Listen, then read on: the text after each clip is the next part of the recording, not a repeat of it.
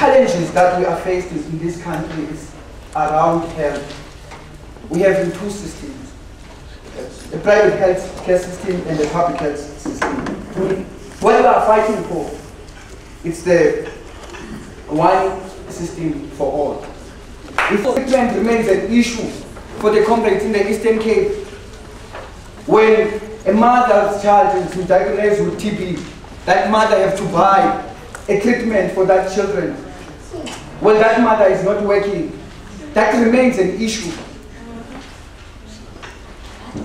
Where is that mother going to get money to buy that treatment if she's unemployed? We have to get our, our, our, ourselves to, to, to, to, to, to raise another campaign around human resource campaign.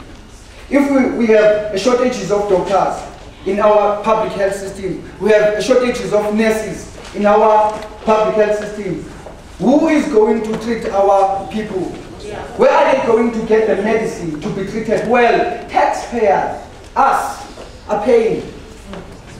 And we all know in this house that with billions that are given to, to health budget, yeah. half of that is stolen and we, not, we don't know where it goes. And we haven't get anyone. That remains a problem.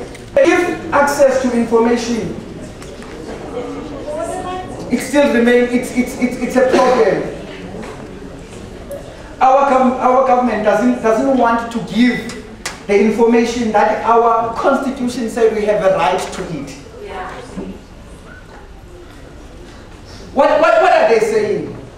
If our community healthcare workers are, are, are not recognized, are not paid enough money, our sanitation workers, people that cleans our toilet, people that, that take care of our environment, are not paid enough money to, to raise their families.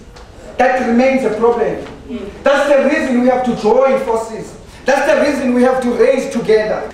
If HIV and TB is not integrated, particularly in the, in the rural areas, people are dying with just having some a, a sickness that can be treatable, some, a, a, sickness that is curable, a TB.